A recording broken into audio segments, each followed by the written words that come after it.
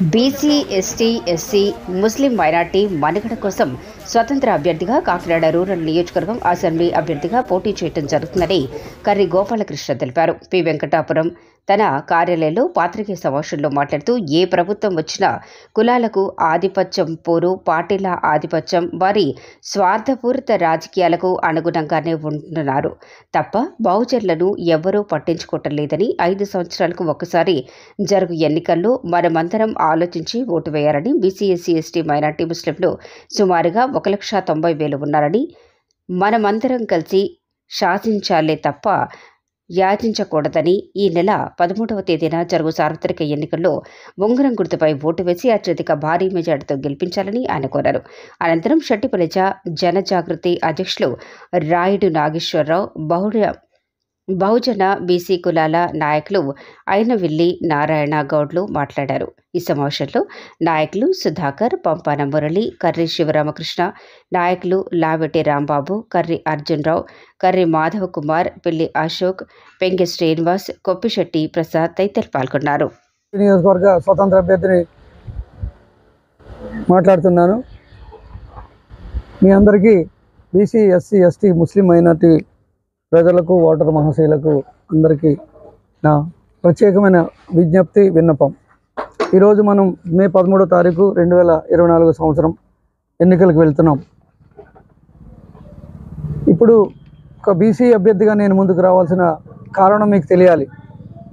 ఈరోజు మనం బీసీలు ఎస్సీలు ఎస్టీలు ముస్లిం మైనార్టీస్ కలిపి అందరూ బహుజనులుగా మనం మాట్లాడతాం. వీళ్ళంతా కలిపి దాదాపు లక్షా తొంభై వేల ఓట్లు అసెంబ్లీ నియోజకవర్గం కాకినాడ రూరల్ అసెంబ్లీ నియోజకవర్గంలో ఉండగా మనకి ఈరోజు స్థానం లేదు. మనల్ని ఇంకా ఓటర్లుగానే గుర్తిస్తున్నారు. మనల్ని ఇంకా ఓటర్లుగానే గుర్తిస్తున్నారు. మన నాయకత్వాలు పనికి రావటం లేదు.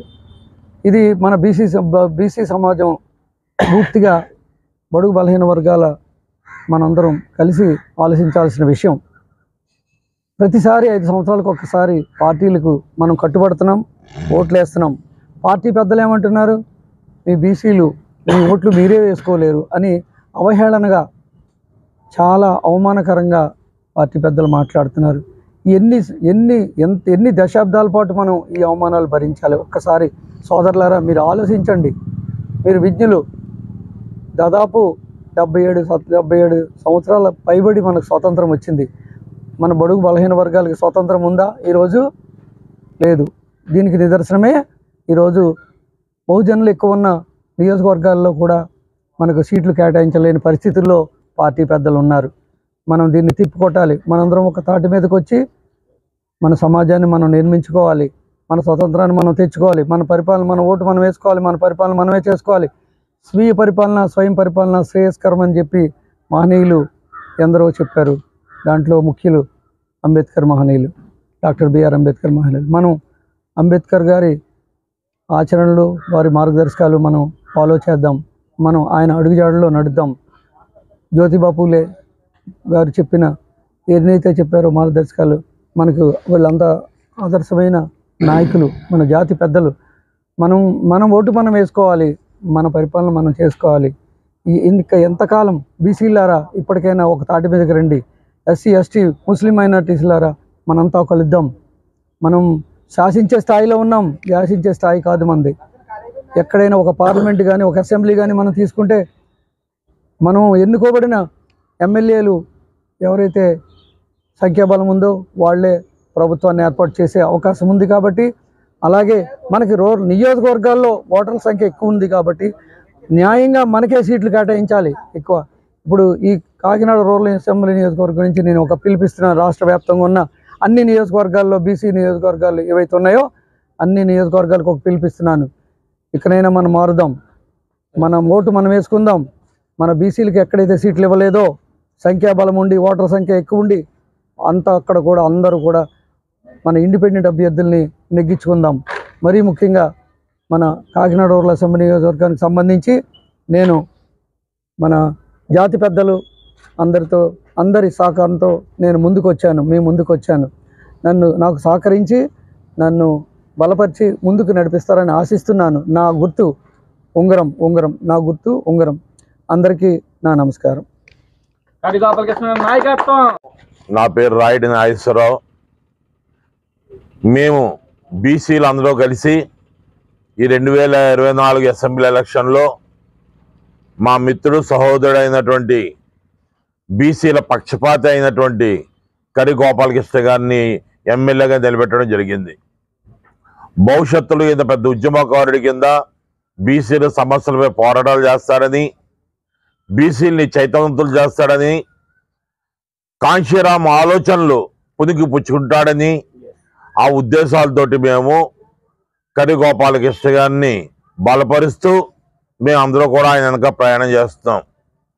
రేపు మే పదమూడవ తారీఖున జరగబోయే అసెంబ్లీ ఎన్నికల్లో ఆయనకి కేటాయించిన గుర్తు ఉంగరం గుర్తు. ఉంగరం గుర్తుపై అందరూ ఓట్లేసి అక్కడే మెజార్టీతో గెలిపించి అసెంబ్లీలో ఆయన వాణిని వినిపించవలసి వినిపిస్తాడని చెప్పి మీకు వినిపించాలని కూడా మిమ్మల్ని అందరూ కోరి ప్రార్థిస్తున్నాం. సంతోషం.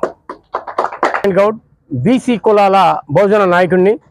అలాగే ఈవేళ కాకినాడ రూరల్లో ఈవేళ కర్రీ గోపాలకృష్ణ గారు అనే భోజనాన్ని ఈవేళ పోటీకి నిలపడానికి ప్రధానమైన కారణం ఆధిపత్య కులాలకు చెందిన పార్టీలు కానీ వ్యక్తులు కానీ ఈవేళ బీసీలను బహుజనులను చిన్న చూపు చూసి ఎక్కువ శాతం ఉన్న జనాలు పక్కన పెట్టి ఈవేళ మమ్మల్ని అవమానించిన తీరునికి నిరసనగా ఈవేళ కర్రి గోపాలకృష్ణ గారిని ఒక బహుజన నాయకుడిగా ఒక బీసీ నాయకుడిగా ఈవేళ కాకినాడ రూరల్లో అసెంబ్లీ నియోజకవర్గంలో ఎమ్మెల్యేగా ఈవేళ మేమందరం కలిసి నిలబెట్టిన వ్యక్తి వేళ కర్రి గోపాలకృష్ణ గారు.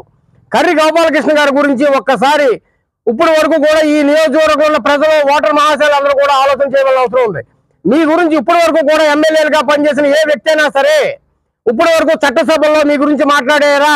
మీ సమస్యల గురించి మాట్లాడారా? మీ బిడ్డల భవిష్యత్తు గురించి మాట్లాడారా? ఇదందరూ కూడా ఆలోచన చేసుకోవాల్సిన అవసరం ఉంది. ఎందుకంటే వాళ్ళు మాట్లాడరు. వాళ్ళ పార్టీ ఏది చెప్తే అదే చేస్తూ ఉంటారు. కానీ ఈవేళ మీ గురించి నేను చట్టసభల్లో నిర్ణయాధికారాలు చేయడానికి చట్టసభల్లో బీసీ బహుజనుల గురించి మాట్లాడడానికి నేను ముందుకు వచ్చాను మీరందరూ కూడా ఓట్లేసి నన్ను గెలిపించండి అని వేళ మన ముందుకు వచ్చినటువంటి కర్రి గోపాలకృష్ణ గారిని గెలిపించుకుని చట్టసభలకు పంపించవలసిన బాధ్యత ప్రతి బహుజనుడి మీద బీసీ వ్యక్తి మీద ఉంది. ఈవేళ ఆధిపత్య కులాలకు గుణపాఠం చెప్పాలంటే మనం ఒక ఓటు రూపంలోనే చెప్పాల్సిన అవసరం ఉంది. ఈ ఈ విషయం ప్రతి ఒక్క బీసీ బహుజనుడు గుర్తెరిగి ఉంగరం గుర్తు మీద ఓటేసి అత్యధిక మెజార్టీతో గర్రి గోపాలకృష్ణ గారిని గెలిపించి మన ఆత్మ గౌరవాన్ని మన ఆత్మవిశ్వాసాన్ని బలపరుస్తారని మీ అందరికీ కూడా నేను తెలియజేస్తున్నాను. చాలా సంతోషం. Thank you